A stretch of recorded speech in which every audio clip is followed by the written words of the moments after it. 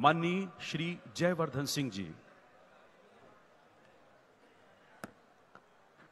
भारत माता की, भारत माता की, भारत माता की।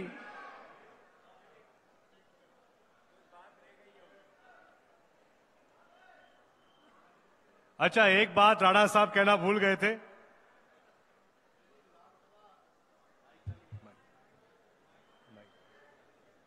हेलो। माननीय मुख्यमंत्री जी, मेरी विधानसभा को छोटा नागपुर कहा जाता है। हज़ारों एकड़ में संतरा का उत्पादन होता है। मेरी मांग है कि मेरी विधानसभा में फ़ूड प्रोसेसिंग का कारखाना खोला जाए। बहुत बहुत धन्यवाद। जय जय कमलनाथ। जय जय कमलनाथ। जय जय कमलनाथ। आज इस विशाल सभा में यहाँ पधारे इस प्रदेश के नेता, इस प्रदेश के लोकप्रिय मुख्यमंत्री परम आदरणीय कमलनाथ जी, मध्य प्रदेश शासन के सिंचाई मंत्री आदरणीय हुकुम सिंह कराड़ा जी, हमारे मंच पे उपस्थित, जिनके द्वारा आज 615 करोड़ का भूमि पूजन किया जा रहा है। पीएचई मंत्री श्री सुखदेव पांसे जी, हमारे प्रदेश के लोकप्रिय ऊर्जा मंत्री परम आदरणीय प्रियवत सिंह जी, हमारे युवा कृषि मंत्री परम आदरणीय सचिन यादव जी, आदरणीय हमारे युवा मंत्री आदरणीय जीतू पटवारी जी, हमारे मध्य प्रदेश शासन के कैबिनेट मंत्री परम आदरणीय पीसी शर्मा जी, हमारे सुसनेर के शेर और लोकप्रिय विधायक परम आदरणीय राणा विक्रम सिंह जी, आगर जिला कांग्रेस के अध्यक्ष परम आदरणीय बाबूलाल यादव जी, हमारे एनएसयूआई के प्रदेश अध्यक्ष, जो बहुत ही अल्प समय में आप सबके परिवार के सदस्य बन चुके हैं मेरे भाई विपिन वांखड़े जी,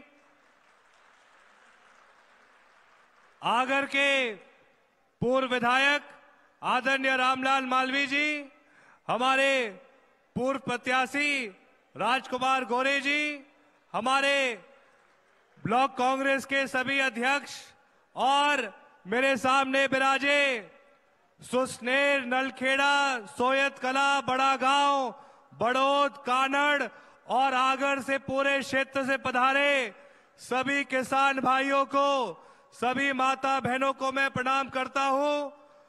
और मैं आप सबको अर्ज़ करना चाहता हूँ कि जो काम पंद्रह साल में भाजपा की सरकार नहीं कर पाई, वो काम इस प्रदेश के लोकप्रिय मुख्यमंत्री कमलनाथ जी ने चौदह महीनों में करके दिखाया है। भाजपा की सरकार पंद्रह साल रही थी, लेकिन क्या भाजपा की सरकार ने एक बार भी किसान का कर्ज माफ़ किया? कभी नहीं किया। और ये कमलनाथ जी की सरकार है। हमारे युवा कृषि मंत्री सचिन यादव जी की मेहनत है कि आगर ज़िले में अब तक किसान का कर्जा एक लाख तक का माफ़ हो गया था।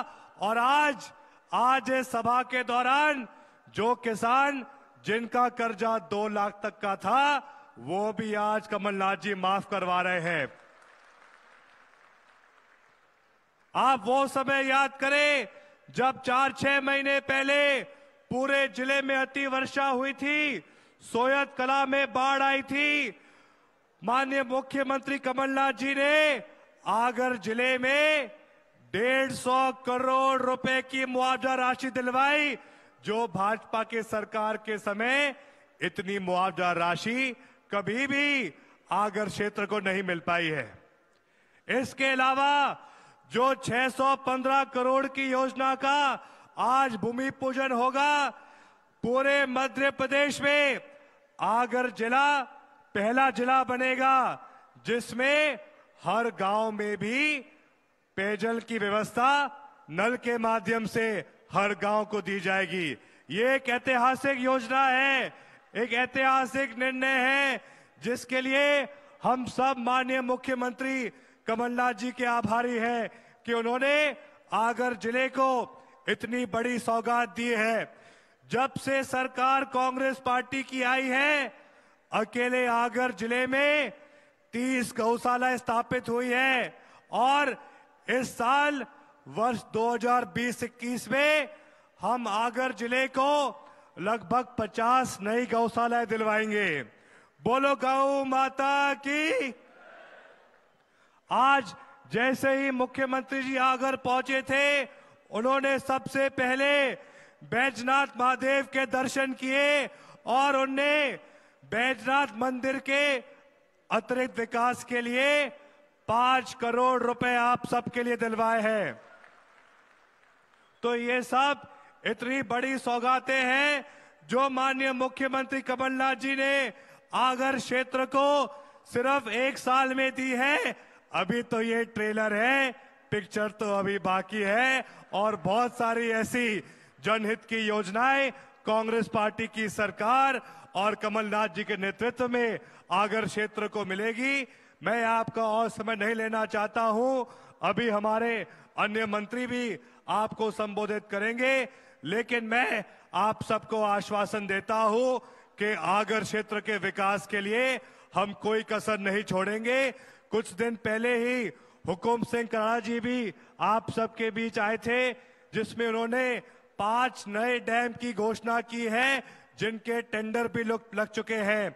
साथ में प्रदेश के लोकप्रिय ऊर्जा मंत्री जी भी आए थे और लगभग नौ नए ग्रिड नौ नए सब स्टेशन इस पूरे क्षेत्र में स्वीकृत कराए हैं, जिससे कि बिजली की भी बेहतर व्यवस्था आप सबको मिलेगी। आप सबने आज यहाँ पर पधारे। आप सबको दिल से आभार। जय हिंद, जय भारत। बहुत बहुत धन्यवाद माननीय श्री जयवर्धन सिंह जी। और अब हम अनुरोध करते हैं उद्बोधन के लिए माननीय श्री सचिन सुभाष यादव जी से।